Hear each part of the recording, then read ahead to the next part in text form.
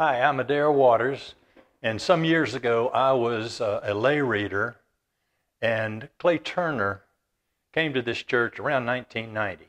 And one morning uh, I got a call from Stuart Elliott bright and early, and he said, Adair, Clay Turner is sick and will not be at the service today. Now, this was early in Clay's administration, and he had not yet hired an assistant, so he, it was it, uh, or he was it. And, uh, but no problem, because during our lay reader training, we had been taught what lay readers could do and could not do. So as when the service began, and I believe it was the nine o'clock service, I stood up and explained what had happened, and that instead of the Eucharist service, we would just have morning prayer. And so that's fairly easy to lead uh, using the prayer book. And I went on and led it and led it. And I got to the point where the sermon was supposed to be. And I hadn't thought about it very much, and the Lord didn't speak to me.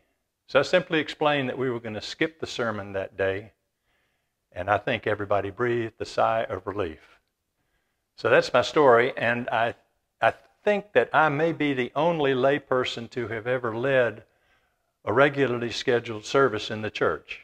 I could be wrong, and if there are others, I hope they'll speak up. But uh, uh, under the circumstances with no minister, that seemed to be the appropriate thing to do.